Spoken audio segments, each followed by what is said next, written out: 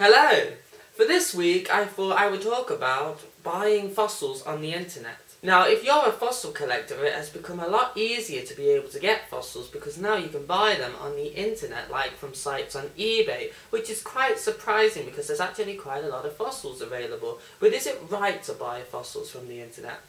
Well, if you're going to buy something like an ammonite, which is really common, the chances are that's fine. But if you're buying something that is really rare, like a dinosaur skeleton, maybe thinking about it first is important because if you buy a fossil and put it in a private collection, which happens to be really rare, you're stopping paleontologists from being able to do research on that fossil, this means you could potentially be holding up some research. So if you do buy fossils from the internet, be careful what you buy. Now of course you may watch my videos and you may know that I have bought fossils from the internet. As you've seen in the past videos, I may have shown you these kind of fossils like teeth and of course very rare bones like this which could have the potential of being from Spinosaurus. But of course if you look at these fossils they are not exactly in the best condition. Some of them are in a pretty ugly state as it seems. So I actually take good care in what fossils I actually buy. I don't want to get amazingly quality fossils because I know that that could hold up research. If I sent these to a museum, the chances are that research wouldn't really be done on the fossils. They would probably just be put on display.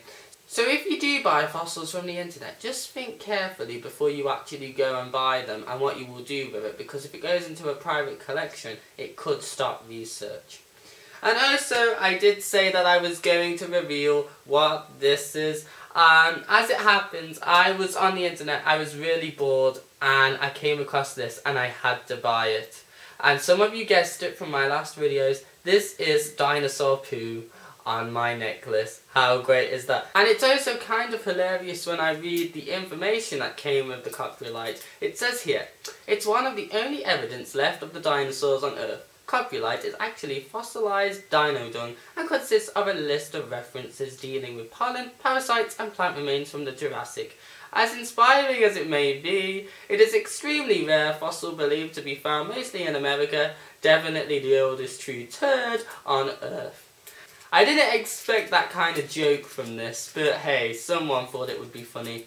So I hope you liked this, I hope you enjoyed it, and as always, I hope to be making new videos. So remember to take up that message if you do buy fossils on the internet, and I'll see you guys later for more videos. I'll see you soon.